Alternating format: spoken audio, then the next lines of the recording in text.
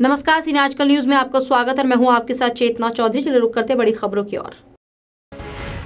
चारा घोटाले में दोषी पाए गए राजद प्रमुख और बिहार के पूर्व मुख्यमंत्री लालू प्रसाद यादव को आज सजा सुनाई जानी थी, लेकिन न्यायालय के एक वकील बिंदेश्वर प्रसाद के आकस्मिक निधन की वजह से सजा का ऐलान नहीं हो सका और अब लालू सहित 16 दोषियों को कल सजा सुनाई जाएगी। विश्वख्यात इस्लामिक शिक्षण संस्था दारुल उलूम ने एक फतवे में मुस्लिम महिलाओं के चुस्त व चमक दमक वाला बुरका पहनने को गुना और नाजायज बताया है। मुफ्तियों का कहना है कि पर्दे के नाम पर ऐसा बुरका पहनकर घर से निकलना जायज़ नहीं है, जिसकी वजह से किसी अजनबी मर्द की निगाहें उनकी तरफ़ जाएँ।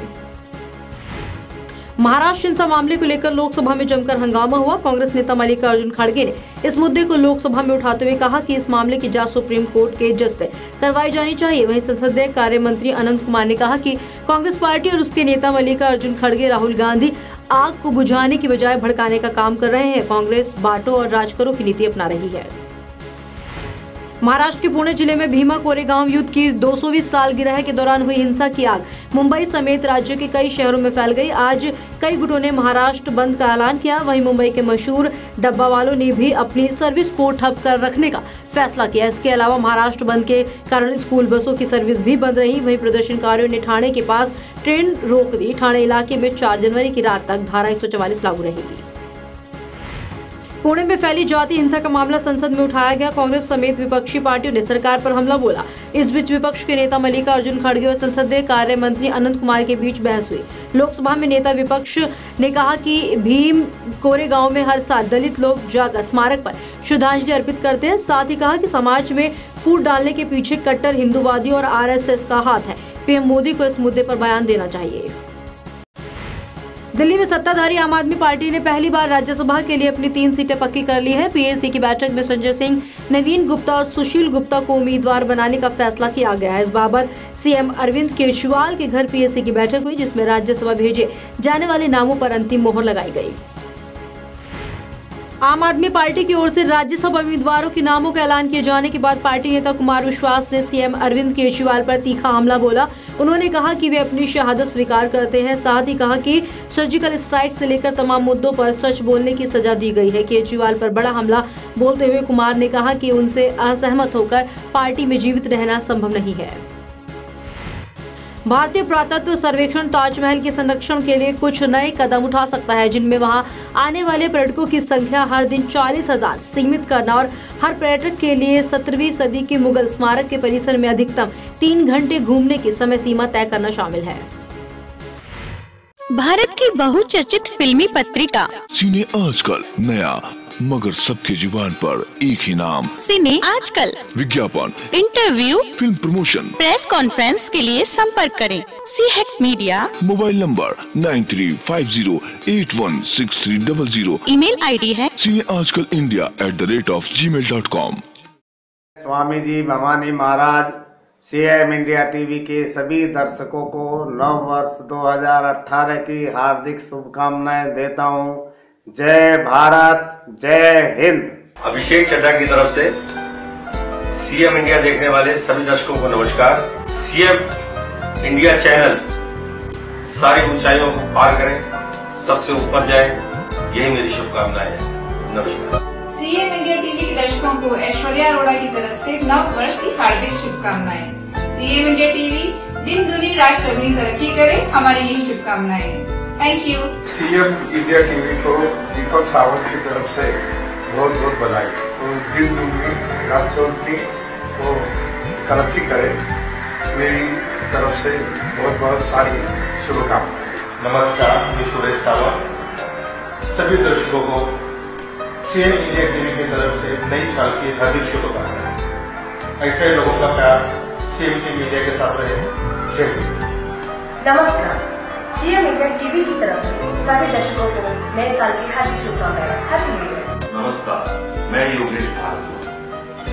CM India TV को मेरी तरफ़ से नव वर्ष की हार्दिक शुभकामनाएँ। और मेरी ये हार्दिक इच्छा है कि सीएम इंडिया चैनल दिन दूनी और रात रहे और उसके देखने वाले दर्शकों को भी मेरी तरफ़ से नव वर्ष 2017 की हार्दिक शुभकामनाएँ आपका साल शुभ रहे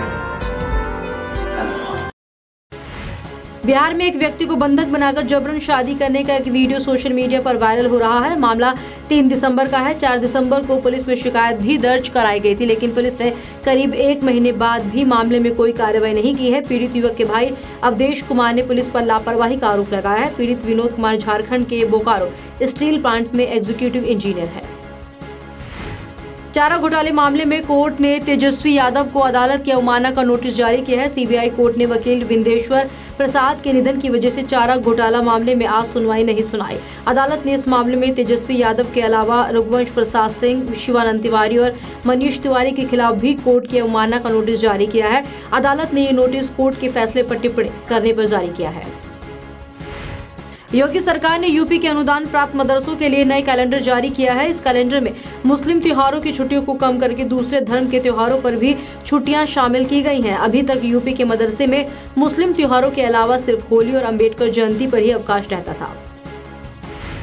जवाहरलाल नेहरू विश्वविद्यालय के यमुना हॉस्टल में एक ड्रोन पाया गया इस ड्रोन में कैमरा लगा था जेएनयू के मुख्य सुरक्षा अधिकारी। नवीन यादव ने हॉस्टल में कल शाम ड्रोन कैमरा पाए जाने के बाद पुलिस में इसकी शिकायत दर्ज कराई थी। कैमरा के मेमोरी कार्ड में बेहद कम अवधि की पाँच वीडियो रिकॉर्डिंग थी। रिकॉर्डिंग में एक लड़का और लड़की को ड्रोन उड़ाते हुए देखा जा रहा है। 2 जनवरी 2018 को दीपक तंवर वाल्मीकि की टीम ने दिल्ली के सफदरजंग हॉस्पिटल के मरीजों ऑटो रिक्शा परीक्षा चालकों और श्रमिकों आदि को हर वर्ष की तरह साथियों के साथ कम्बलों और कपड़े का वितरण किया।